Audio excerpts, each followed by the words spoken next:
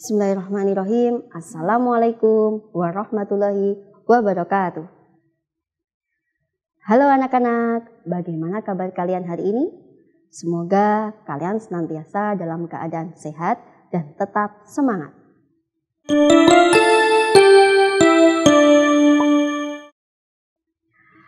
Bertemu lagi dengan Ibu Guru pada mata pelajaran Akidah Akhlak untuk kelas 4. Pada kesempatan kali ini kita sudah masuk dalam bab 3 atau pelajaran 3 yaitu mengenai iman kepada kitab-kitab Allah. Tahukah kamu apa itu iman kepada kitab-kitab Allah? Iman secara bahasa berarti yakin atau percaya.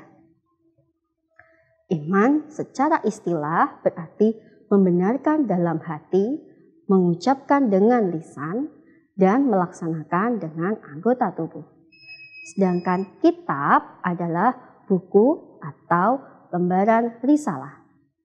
Jadi dapat disimpulkan bahwa iman kepada kitab-kitab Allah adalah mempercayai atau meyakini bahwa Allah telah menurunkan kitab-kitabnya kepada para nabi dan rasul agar kitab-kitabnya dijadikan pedoman hidup untuk meraih kehidupan yang sejahtera di dunia maupun di akhirat. Beriman kepada kitab-kitab Allah merupakan rukun iman yang ketiga. Oleh karena itu, hukum beriman kepada kitab-kitab Allah adalah wajib. Dan ada empat kitab Allah yang wajib kita imani. Bagi umat Islam, beriman kepada kitab-kitab Allah sebelum Al-Quran adalah wajib dipercaya secara ijmali. Yang artinya hanya percaya saja. Sedangkan memahami dan mengamalkan ajaran-ajaran yang terkandung dalam kitab tersebut bukanlah merupakan sebuah kewajiban. Sedangkan bagi umat Islam beriman kepada Al-Quran secara tafsir yang artinya terperinci. Harus meyakini akan kebenarannya, memahami isi ajarannya, dan mengamalkannya dalam kehidupan sehari-hari. Tahukah kamu apa perbedaan dari suhuf dan kitab? Suhuf adalah wahyu Allah Subhanahu wa taala yang masih berupa lembaran-lembaran. Lembaran tersebut dapat berupa kertas, kulit hewan, batang pohon, maupun ukiran batu. Suhuf di antaranya yang diterima oleh beberapa nabi yaitu Suhuf Musa alaihi salam, Suhuf Adam alaihi salam, Suhuf Ibrahim alaihi salam, dan yang lainnya. Sedangkan kitab adalah kumpulan wahyu Allah Subhanahu wa taala yang disampaikan kepada rasul untuk diajarkan kepada manusia sebagai petunjuk dan pedoman hidup. Ada empat kitab yang wajib kita imani. Nah, kitab-kitab apakah yang wajib kita imani? Yang pertama adalah kitab Taurat.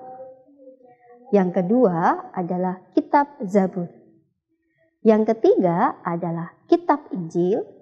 Dan yang keempat adalah kitab Al-Quran.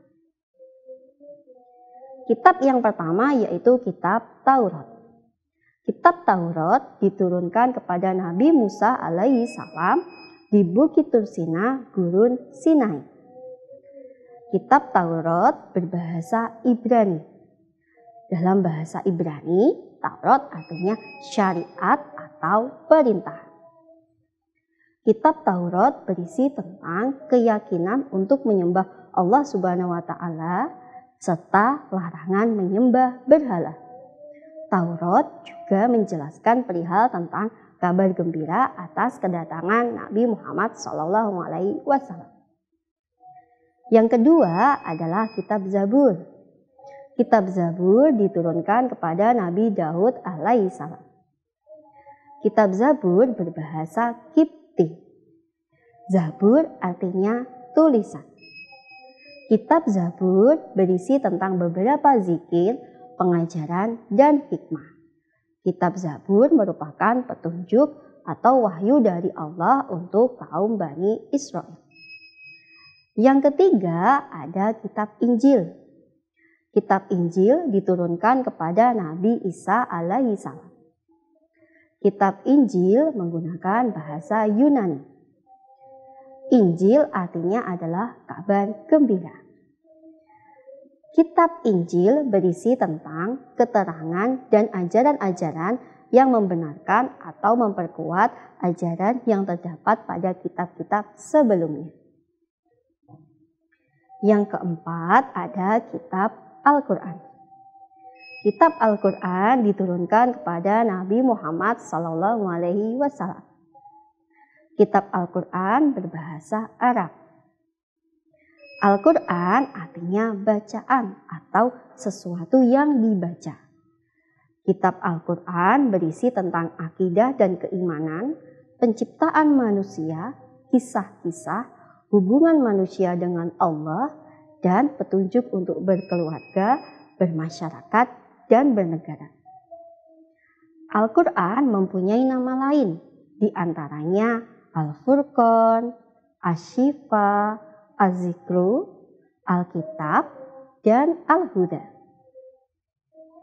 Berikutnya adalah cara beriman kepada kitab-kitab Allah. Yang pertama yaitu cara beriman kepada kitab-kitab sebelum Al-Quran. Di antaranya, mempercayai bahwa seluruh kitab datangnya dari Allah Subhanahu wa Ta'ala meyakini kebenaran ajaran-ajaran dalam kitab-kitab sebelum Al-Quran. Sedangkan cara beriman kepada kitab Al-Quran antara lain, yaitu yang pertama adalah membenarkan berita-berita tentang kitab-kitab terdahulu dalam Al-Quran. Yang kedua adalah membenarkan hukum-hukum dari Al-Quran. Yang ketiga adalah mempelajari memahami, dan menghayati isi kandungan dalam Al-Quran. Berikutnya adalah hikmah beriman kepada kitab-kitab Allah Subhanahu wa Ta'ala. Yang pertama yaitu meningkatkan keimanan kepada Allah yang telah mengutus para rasul untuk menyampaikan risalahnya. Yang kedua, hidup manusia menjadi lebih tertata karena hukum bersumber pada kitab suci. Yang ketiga, termotivasi untuk beribadah dan menjalankan kewajiban-kewajiban agama, seperti kewajiban sholat, zakat, dan yang lainnya. Yang keempat, yaitu menumbuhkan sikap optimis. Dan yang terakhir adalah selalu terjaga ketakwaannya dengan menjalankan perintahnya dan menjauhi larangannya. Kita sebagai umat Islam harus beriman kepada kitab-kitab Allah. Baik itu Al-Quran maupun kitab-kitab sebelum Al-Quran. Baiklah anak-anak, itu tadi yang bisa Ibu sampaikan pada kesempatan kali ini. Semoga bermanfaat dan tetap semangat. Bilahi taufiq walidayah. Assalamualaikum warahmatullahi wabarakatuh. Thank you.